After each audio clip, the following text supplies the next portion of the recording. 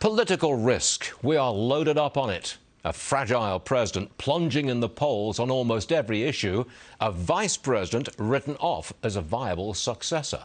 The risk is that something happens. Economic risk staring us in the face. Inflation rages, the Federal Reserve has to deal with it. The risk is a recession and a big market sell off. Cultural risk. We are so divided. Authoritarian Democrat states impose draconian COVID restrictions.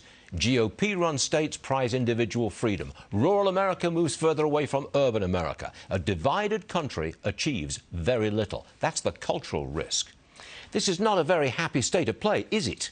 The holidays are upon us, and we should be turning our thoughts to friends, family, church, and temple. Instead, we're being hustled back into our masks, fired if we don't get the jab, attacked on the streets of our big cities. We're even supposed to check the vaccination status of our holiday guests, for heaven's sake. So for Christmas, I'm going to Florida. I want to be in a more positive environment. I can't escape all risk, I know that, but I can be in a place that lets me choose how I want to live and work. I'm tired of being down, frankly. That's where I'm coming from.